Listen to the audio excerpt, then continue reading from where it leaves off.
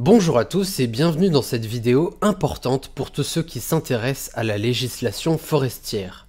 Dans la vidéo, nous allons parler des documents cadres de la gestion forestière française et nous verrons ce qui nous est appris en BTS gestion forestière à ce sujet. Mais avant ça, générique.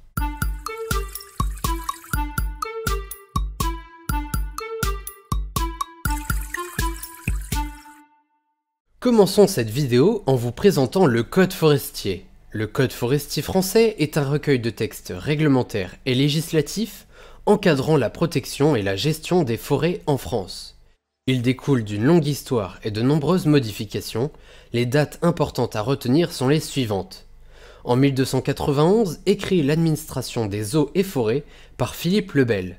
En 1346, Philippe de Valois crée le premier code forestier.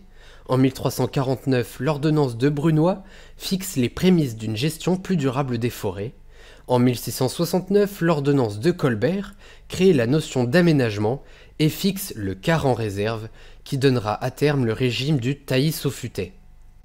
En 1827, une nouvelle version du Code forestier, restreignant les droits d'usage des paysans en forêt, conduit à un mouvement de contestation, la guerre des demoiselles.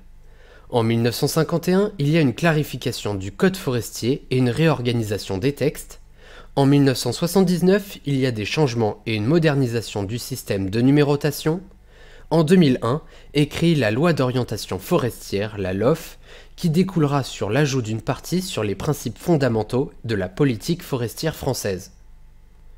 Enfin, en 2012, il y a l'ajout d'une partie sur la défense des forêts contre les incendies et il y a des changements sur les infractions forestières. Ensuite, il y a le Programme national de la forêt et du bois, PNFB.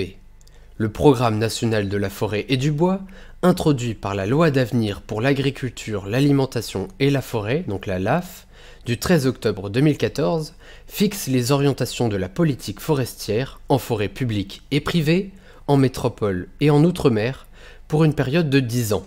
Celui-ci répond à quatre objectifs, créer de la valeur en France en mobilisant la ressource durablement, répondre aux attentes des citoyens et s'intégrer au projet de territoire, conjuguer atténuation et adaptation des forêts au changement climatique et développer des synergies entre forêts et industrie.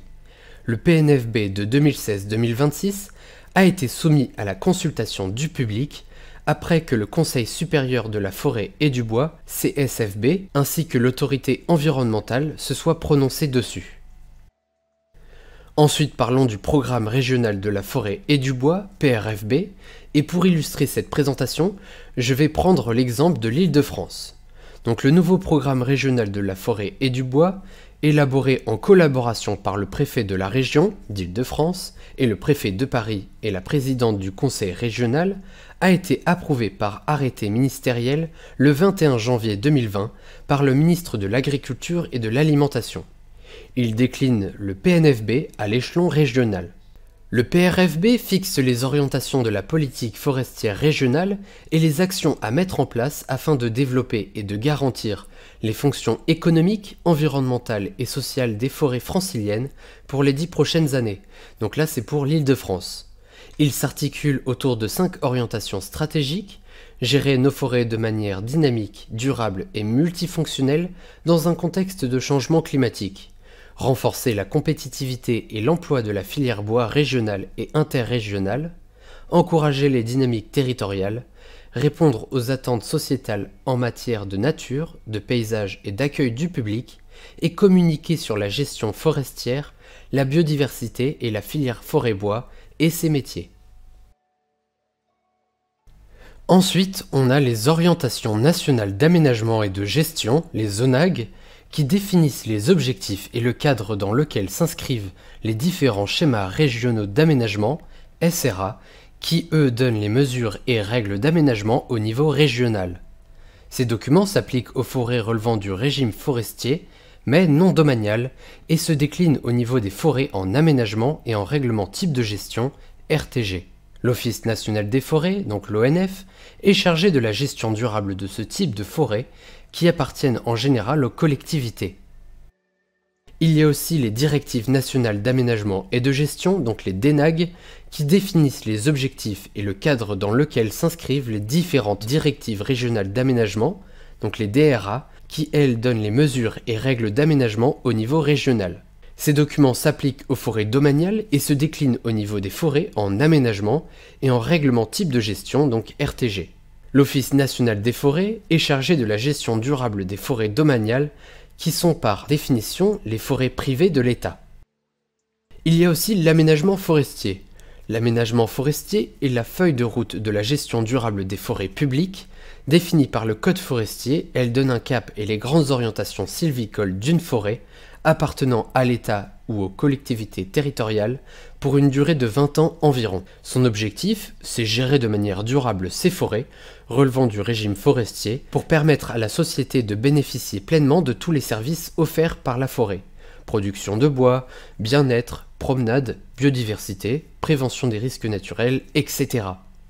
Ce document est réalisé par l'Office national des forêts en concertation avec la collectivité propriétaire et pour les forêts domaniales avec l'ensemble des collectivités territoriales et les acteurs du territoire. Il se fonde sur des études très approfondies du milieu naturel, des aléas climatiques, de la composition et de l'état des peuplements, du contexte socio-économique du territoire et de la gestion forestière antérieure. En forêt privée, il y a les schémas régionaux de gestion sylvicole, donc les SRGS, et ces documents ont pour objectif de définir les règles de gestion pour les forêts privées de la région et constituent la référence pour l'agrément des documents de gestion durable, DGD, qui doivent leur être conformes. Ils comportent une description des aptitudes naturelles et du contexte forestier de la région, les éléments à prendre en compte pour la gestion forestière, les objectifs qu'il est possible d'assigner aux forêts, les méthodes de gestion préconisées par type de peuplement, ainsi que l'indication des essences recommandées, le cas échéant par grand type de milieu. Ils évaluent aussi l'état d'équilibre entre les populations d'animaux et les habitats forestiers et son évolution prévisible par grande unité synégétique. Les SRGS peuvent être complétés par des annexes environnementales, dites annexes vertes. Enfin, on trouve les documents de gestion durable. Donc les documents de gestion durable, DGD, constituent une garantie de gestion durable sous réserve de la mise en œuvre effective de leur programme de coupe et travaux. Ces documents, nécessaires pour une bonne gestion de son patrimoine forestier, sont exigés par les services de l'État en contrepartie d'une demande d'aide ou d'aménagement fiscaux. Le PSG est un document indispensable pour les forêts de plus de 20 hectares. Le règlement type de gestion, donc RTG, s'adresse aux propriétaires ne rentrant pas dans le cadre d'une obligation d'avoir un PSG et qui font gérer leur bois par un organisme de gestion, coopérative, etc., ou un expert. Le Code de bonne pratique sylvicole, CBPS, est un moyen simple de gérer de petites surfaces. Enfin, la certification forestière est un engagement fort de gestion durable, complémentaire aux documents de gestion. Pour clôturer cette vidéo, voici un tableau récapitulatif des différents documents cadres de la gestion forestière française, avec les différents échelons et le type de propriété auquel ils s'appliquent. Nous voilà arrivés au terme de cette vidéo, je vous remercie de l'avoir regardé jusqu'ici. J'espère que cette vidéo vous a intéressé et que vous avez appris des choses sur la législation forestière. Les informations de cette vidéo proviennent des cours de BTS Gestion forestière, comme je vous l'ai dit, mais je vous mets dans la description les sources de mes recherches complémentaires. Pour finir, je vous invite à me poser vos questions dans les commentaires et à me donner des conseils pour les prochaines. Si la vidéo vous a plu et que vous avez appris des choses, alors n'hésitez pas à mettre un pouce bleu et n'oubliez pas de vous abonner et d'activer la cloche de notification pour ne pas manquer les prochaines. Sur ce, je vous dis à très bientôt pour la prochaine vidéo.